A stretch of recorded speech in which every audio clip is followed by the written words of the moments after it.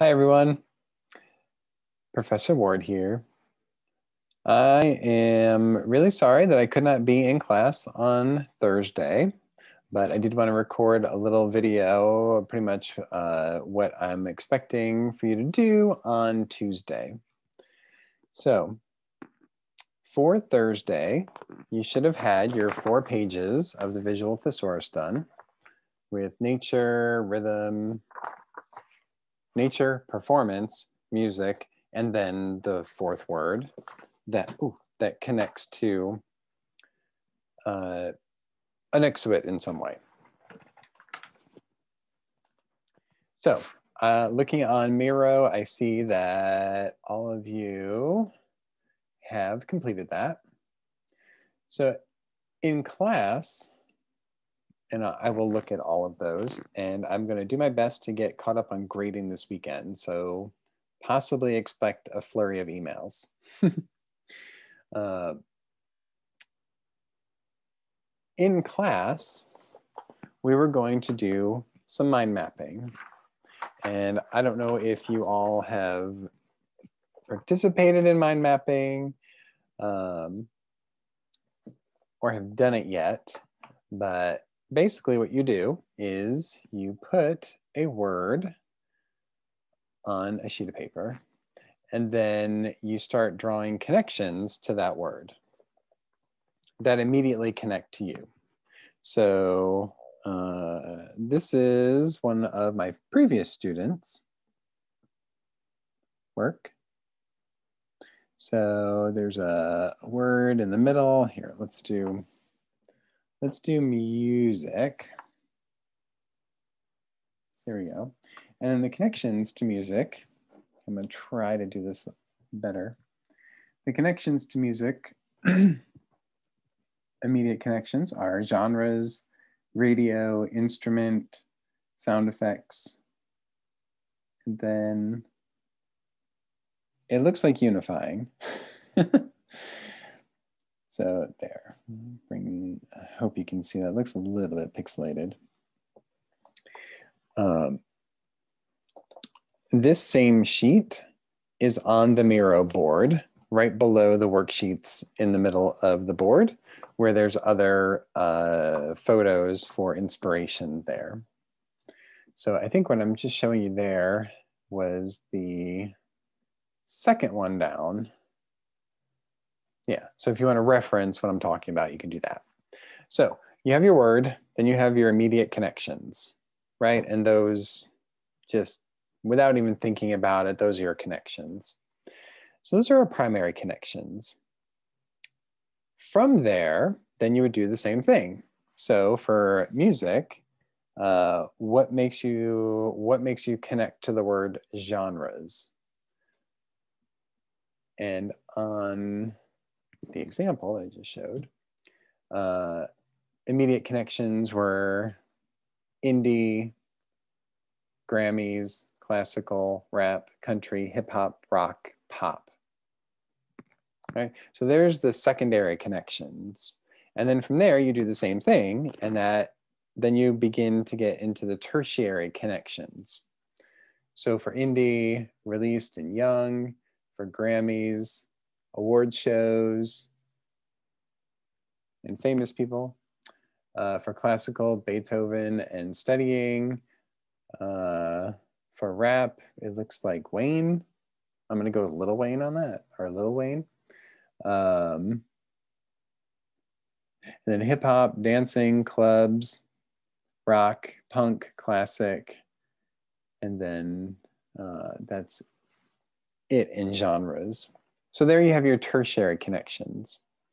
So this method of mind mapping is a process of generating ideas.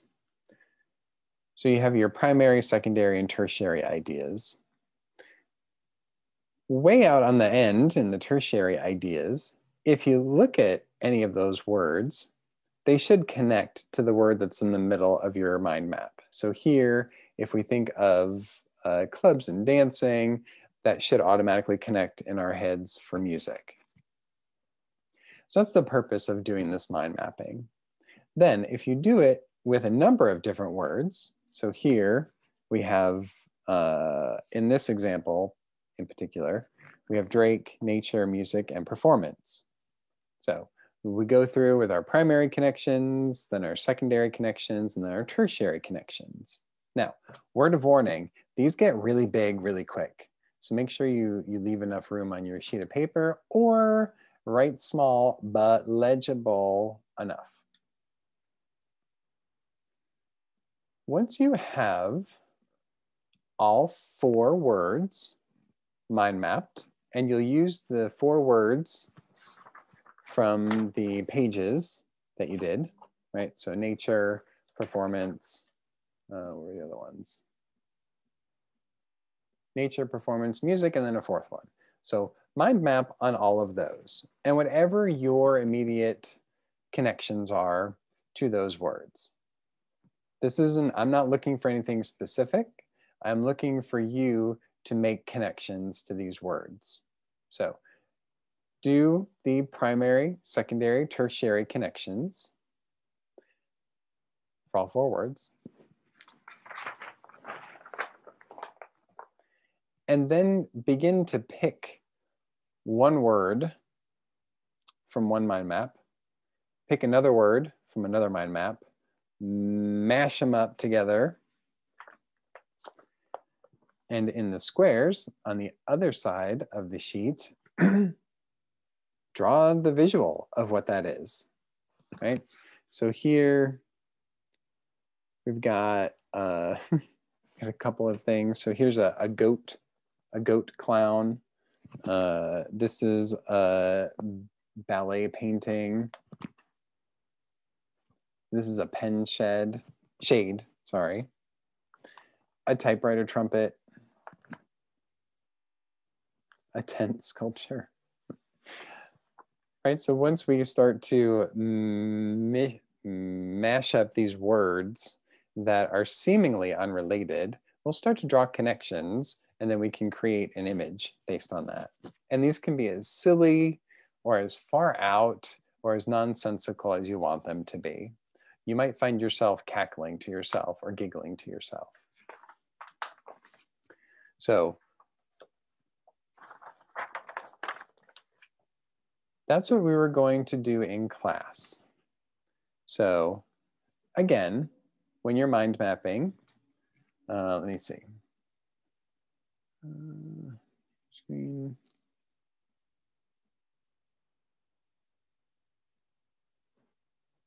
Okay. So when you're mind mapping, here, I will do music. If I have music, I guess I gotta do another text box. So for me, when I think of music, I think of sound. I think of radio. I think of speakers. And let's see, with music, instruments. Uh, let's see, what else do I think of when I think of music? Bands. Let's do that. Boop, boop, boop. Uh, and my Alexa. because that's how I listen to music a lot of the times.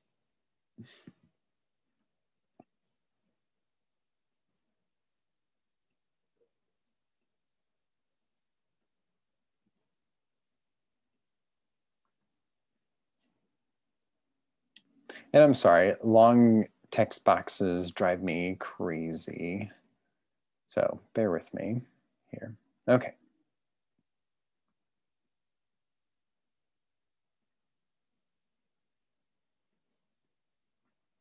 All right, so music is my word. And then here are my primary connections. Now, for sound,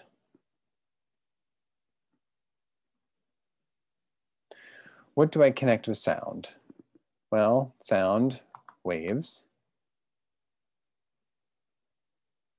Uh, let's see, Oop. waves, um, sound, loudspeaker, mouth. uh, let's see what else when I think about sound, beep.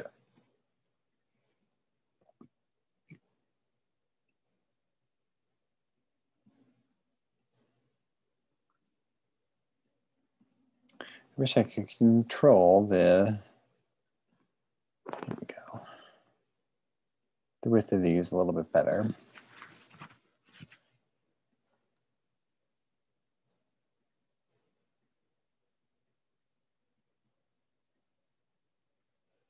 Okay, and a sound, waves, loudspeaker, Beep. Music. Okay.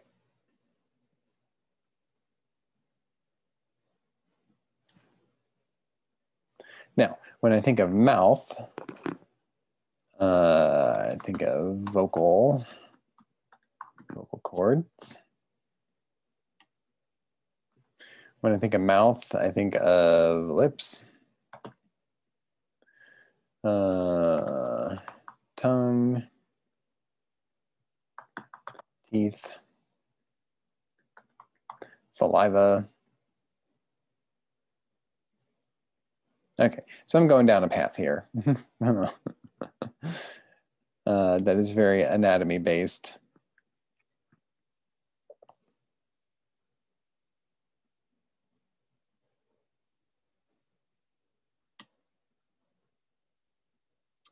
So one could think of mind mapping as kind of a stream of conscious thinking, right? You want to be in a you want to be in a space where you're relaxed, where you're calm, uh, and where these where this exercise should be free flowing, right? Um, let's see. Oop. Draw.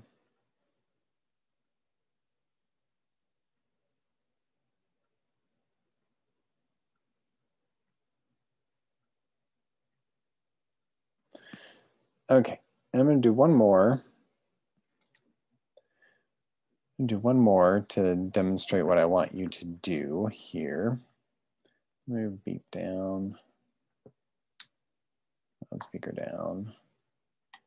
Anyway, see already this is getting at hand. All right.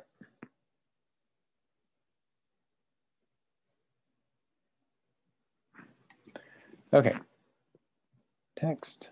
So when I think of waves, I think of the ocean. I think of dolphins. I think of a jet ski. I think of um, what is it? White caps. You know when the when the waves crash on the beach, uh, and then beach. Yes, another another connection to waves.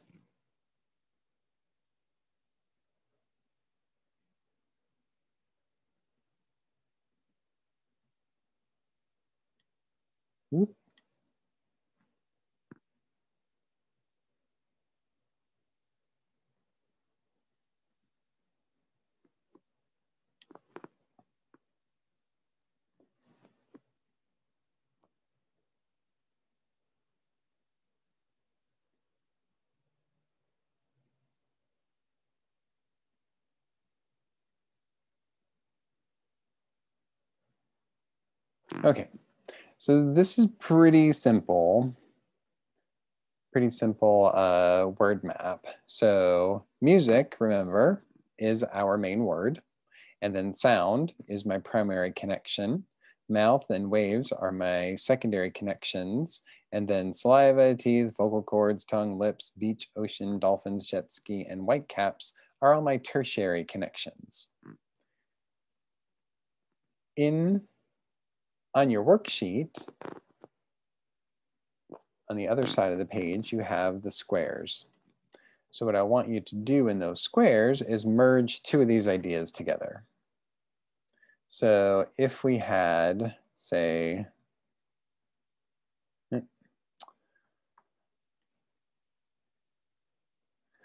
so if I wanted to combine a white cap tongue, hmm, what would that look like? My guess is it might look like something, oop, oop, I can't do that. Uh, is there one? Here we go. So there's my tongue.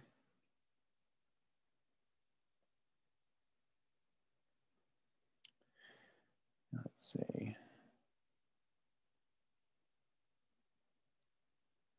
No.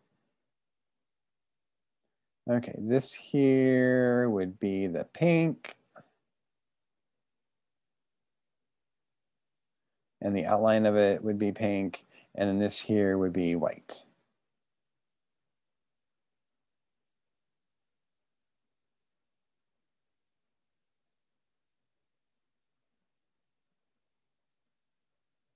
I'm not doing a great job with the trackpad. so that's just one combination. So next up, um,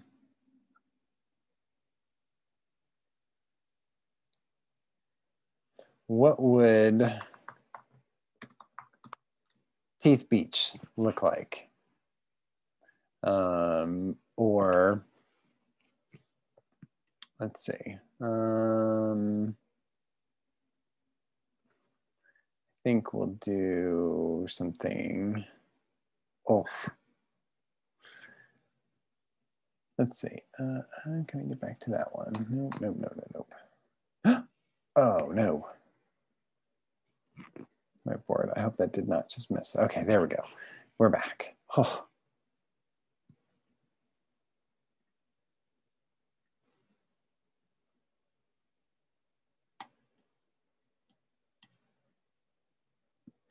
Okay.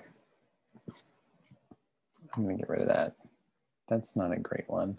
Um, but a teeth wave. what might that look like? Well, probably like a wave. But then we might make the wave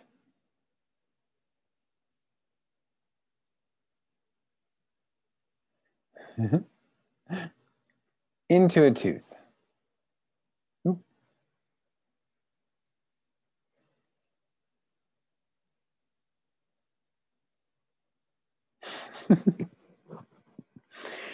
so on and so forth. Now, when you do this, you have to be careful about your pairings because some of these, um, if you had dolphin mouth, like, yeah, that is a pairing, but is it going to be really interesting? No, you're going to try to mimic an actual dolphin mouth.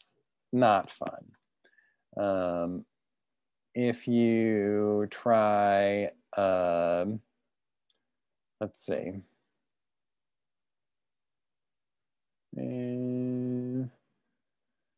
Uh, a white, ooh, white cap vocal cord. I don't know how well that would turn out. I would have to see that. Um, but pay attention to the words that you're you're combining here, because sometimes you kind of end up in the in a in a place where the combination is not real interesting, um, or you're representing something that is actually real life. And either of those you don't want to do. You want to get into an area that is that is interesting. So in your mind map for music here, I would continue to do, to expand on my primary connections, secondary and tertiary connections. So what you see here for sound and mouth, sound and waves, and then the tertiary connections, you would do that for all of your secondary connections right? This is what I'm saying. It can get very large and very complex very quickly. But the benefit of doing that is that you have a wealth of words that you can then begin to pair up to make yourself giggle, to make yourself laugh, um, to maybe lend a serious tone to things or a sophisticated tone to things.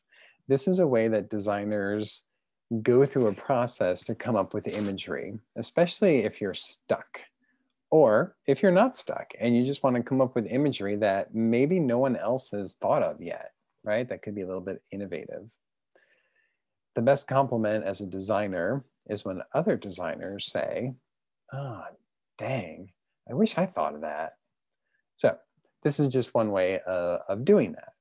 So for Tuesday, what I would like you to do is complete the first sheet of the visual thesaurus.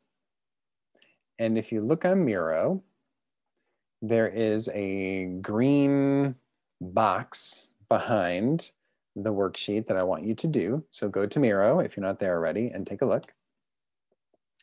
The page that I want you to complete is the visual thesaurus and it has 12 boxes on the right hand side. And then it has space for nature, music, uh, performance, and then your fourth word, whatever that is. So create a, a mind map or a word map as I see that I have it here for all four of those. Oop, let me stop sharing that so you can see. There we go. So start doing that or do that for the four words. Uh, and then on the right side of the sheet in those squares, pick 12 word combinations and then illustrate those word combinations. What does it look like when those things are mashed together? This should be pretty fun. And depending on how thoroughly you do your word map will depend on how easily you can get pairings to fulfill all 12 of those squares. Now, I'm available by email. If you have questions, please, please send me an email about that. Um, also, what I would like you to do is watch To Inform and Delight. It is a video of Milton Glaser's life. He's one of the amazing, amazing people uh, in the graphic design field or was. Um, so watch the movie, do the worksheet, and then uh, read chapter three as well in Guide to Graphic Design. That's going to talk about concepts, I believe, concepts. Um, those two bits of homework are on Blackboard as well under weekly homework, weekly homework, week two, in the Thursday folder. Uh, so complete the visual thesaurus, first sheet, read chapter three, Guide to Graphic Design, and watch Milton Glaser to inform and delight, and make sure you fill out the worksheet too. And a word of advice, while you're watching Milton Glaser, fill out the worksheet while you're watching the movie. It'll be so easy. Uh, and then just have all that stuff on your Miro board on Tuesday, and then we'll kind of talk about everything up until that point. All right. Um, do the best that you can. Uh, there's no right or wrong answer on any of this. Uh, do the best that you can. And again, if you have any questions, uh, please let me know. You can send me an email. Uh, and if there I guess there are no questions right now because I'm on here by myself. Anyway, I will see everybody on Tuesday.